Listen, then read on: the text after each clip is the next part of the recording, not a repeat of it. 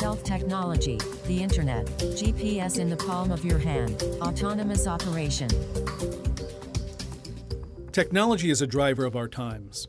Since its founding in 1958 in the midst of the Cold War, DARPA, the Defense Advanced Research Projects Agency, has been a driver of technology. Welcome to Voices from DARPA, a window onto DARPA's core of program managers. Their job to redefine what is possible. My name is Ivan Amato, and I am your DARPA host.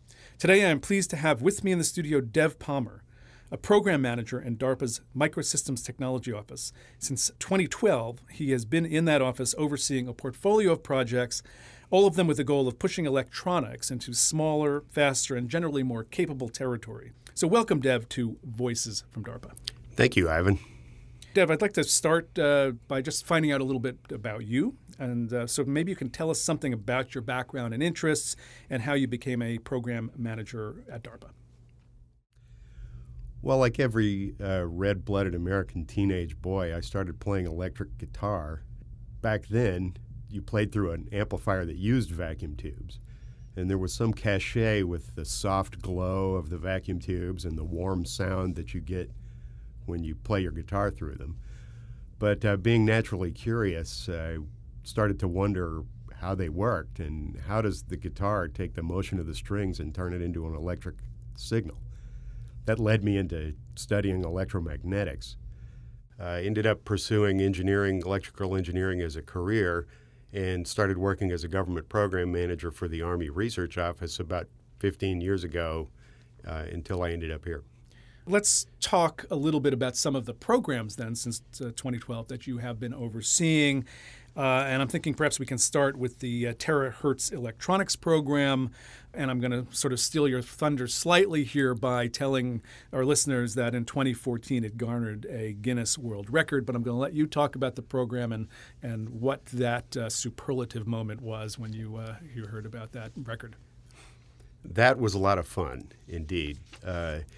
You can think about transistors like you think about guitar strings the low frequency guitar strings can be heavy and loose, but as you move up in frequency, the strings get thinner and you have to wind them tighter.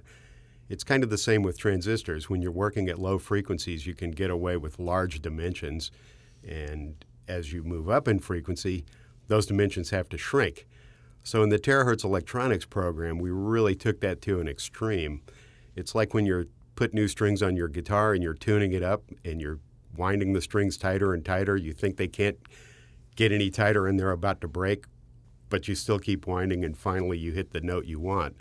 It worked kind of the same way in the terahertz electronics program. So, so Dev, let me just st- stop you a little bit before you say more about the program.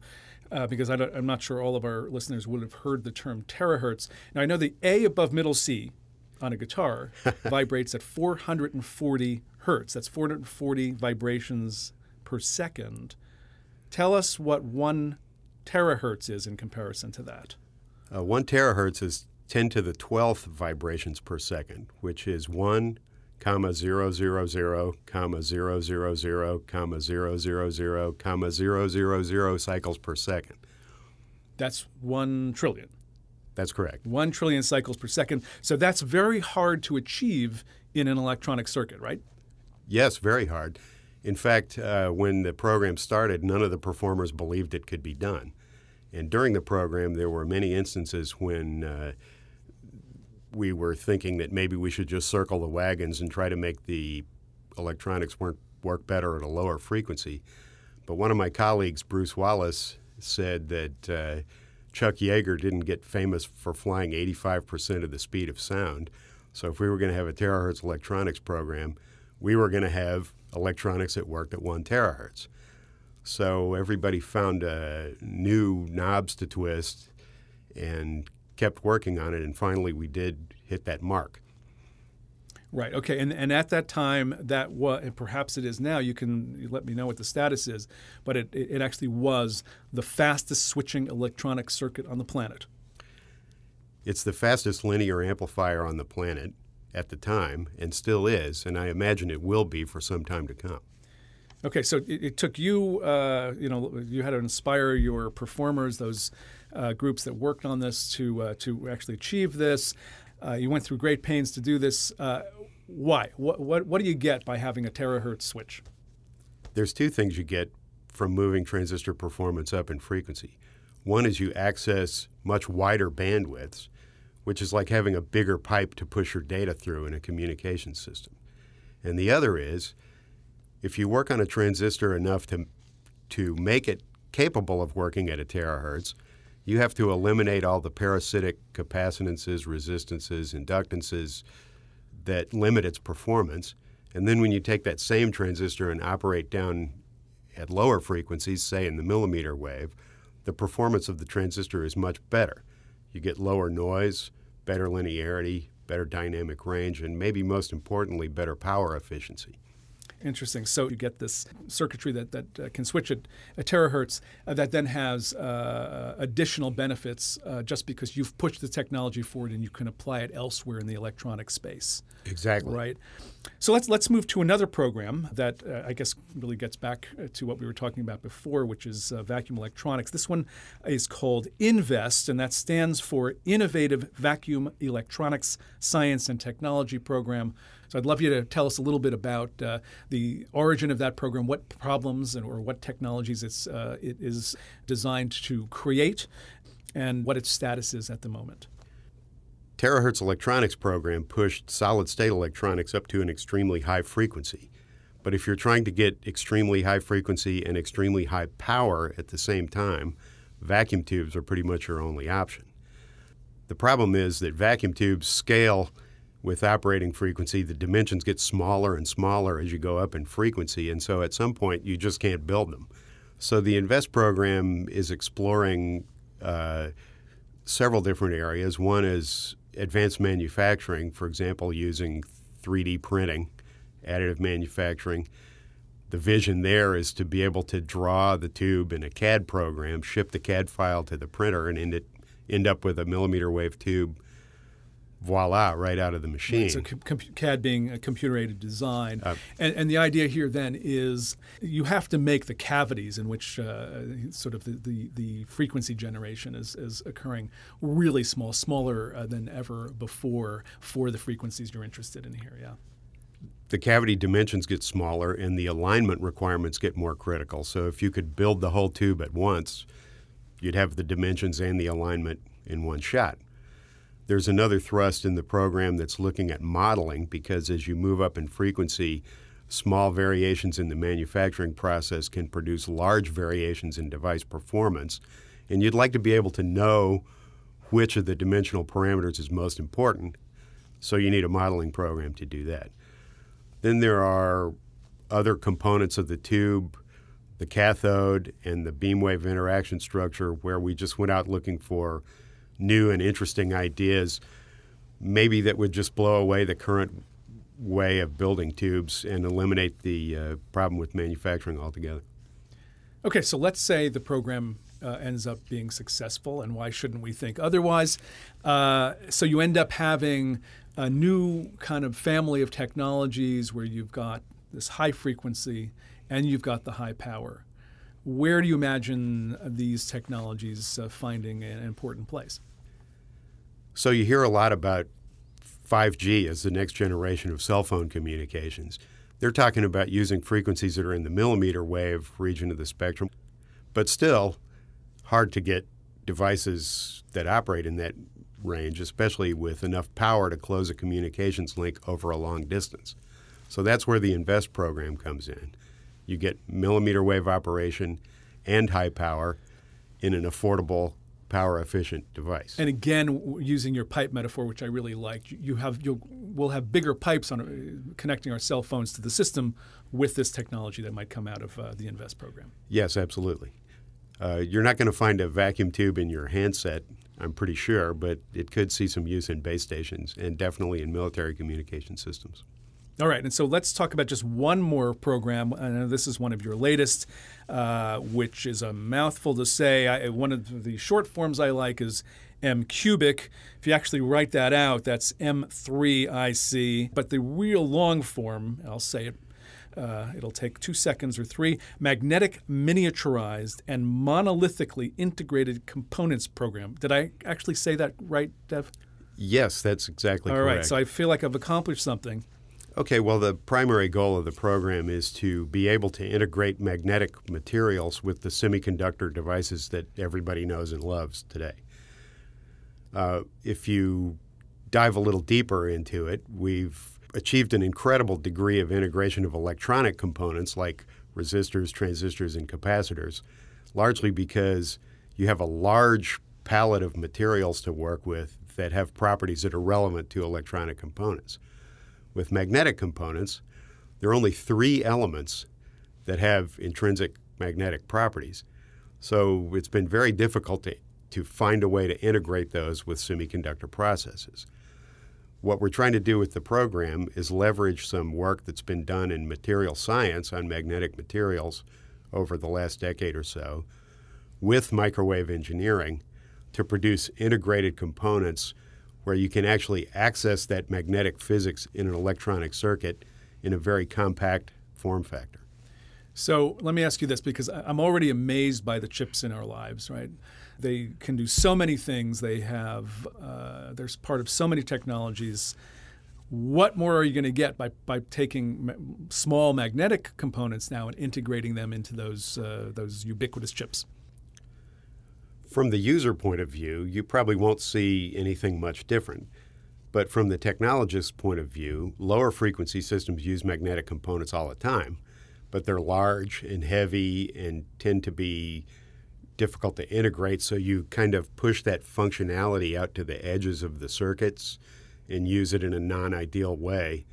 So, give me an And so- example or, or two, though, of a specific technology where these magnetic components are central to it, even though they're not yet integrated onto the chips themselves, but they're somehow in the overall system. So, what might be an overall system that, again, has the electronics in it and some of these magnetic components we're talking about? Well, picture a walkie talkie, for example. You've got a transmitter and a receiver, but you've only got one antenna. There's a magnetic component that isolates the transmitter from the receiver and connects both of them to the antenna at the same time. Uh, if you didn't have that, you'd have to have two antennas. Now, up at higher frequencies, you can still do that, but the performance of the components drops off substantially because they're separate from the electronics. What we're hoping to do with MCubic is bring that functionality back into interaction with the electronic circuit so you can have that same kind of uh, ease of operation up at the higher frequencies. Right now, you have to try to mimic that magnetic physics with electronic components, and there's really nothing that does quite the same job. Right. And for those uh, engineer types out there who are listening, I, I think the component you were referring to just now is that known as a circulator. Wow, Ivan, that's great. Yes, it is. Yeah. Yeah. Just I just impressed you, Dev. And just you mentioned three components. We're not going to talk about them, but I'm just now intrigued by what they are. So circulator is one of them, and what are the other two? Well, in the program, we're looking at frequency selective limiter, which can, through the natural physical process, cancel out interfering signals, whether they're intentional or not, and also at uh, integrated inductors, which have been kind of a holy grail for millimeter wave circuits for a long time. And just give me one reason why uh, they've been so coveted. Well, right now, since you don't have access to magnetic materials on chip, the inductors tend to take up a substantial percentage of the circuit board space. If you have a magnetic material, you can shrink those down substantially, make the whole chip smaller. That means it works better and it's also cheaper. But can, can you say in a sentence or two what function the inductor typically has? Uh, the inductor smooths out high frequency signals. It tends to pass lower frequency signals and stops higher frequency signals. So at very low frequencies, they're used to filter power supplies, make nice quiet power supplies. At higher frequencies, they're used as part of filter circuits to select out the frequencies you want and the frequencies you don't want. So thanks, you know, for talking about all of those uh, programs. There are others that you uh, are also overseeing, but we're not going to talk about all of them now. But what I would like to talk about is these programs and you as a program manager in a place like DARPA. And what I'm getting at here is, uh, you know, DARPA is, is just part of the, the overall innovation ecosystem. Uh, you've been here since 2012. You, have got these programs we've talked about. So, you know, what is it like to be here, and and how do you think DARPA is unique in the innovation uh, ecosystem? Coming to DARPA is like grabbing the nose cone of a rocket and holding on for dear life. uh, it's a fast-moving place that has a significant impact on the trajectory of, of technology for the nation. And being part of that is an incredible thrill. The idea that you can come up with a technical idea that's interesting to you and create a community to pursue that idea is, is an experience you won't get anywhere else. You can take flyer bets on crazy things like integrating magnetics with semiconductors, and people will actually soldier up and tell you how they're going to do it. Right. So, so what you just said about creating communities is just uh, something that that uh, you know I, I, guess I've observed here too. in the short time I've been here, uh, and I think maybe perhaps one of the most valuable things that happens here at DARPA, which is is, is that you, uh, the program managers, do bring together handfuls of, of uh, research groups that otherwise probably would not have gotten together, but in getting together now create uh, and bring bring together mindsets, skill sets, tool sets, ways of doing, ways of thinking that are unique and, and therefore can push into new technological territory. Did I overstate things or is that about kind of right? No, that's about right. It's very exciting. Can you name one science fiction technology that you just wish could become real? Well, I haven't, since I commute weekly between DARPA and my home in North Carolina, that would be teleportation, of course but I don't think we'll ever get there. We don't have any wireless communication technology that can transfer the amount of information it would take to completely disassemble and reconstruct a human in any reasonable amount of time. Imagine having to encode the information that's in every strand of DNA in every cell of your body, every memory you've ever had, every scene you've ever seen, take that apart, turn it into bits, send it somewhere, and then rebuild it in the physical world driving might be faster. Well, Dev, I do hope that teleportation does become a reality at some point in the future, at the very least, to make your commuting and traveling around a little bit easier. Uh, I've really enjoyed the entire conversation, Dev, and I just want to thank you for coming into the studio. Thank you, Ivan. It's been a real pleasure. And thanks, listeners, for sharing this time with us. I hope you join us again for the next Voices from DARPA. To find this and other episodes of Voices from DARPA, visit us online at darpa.mil.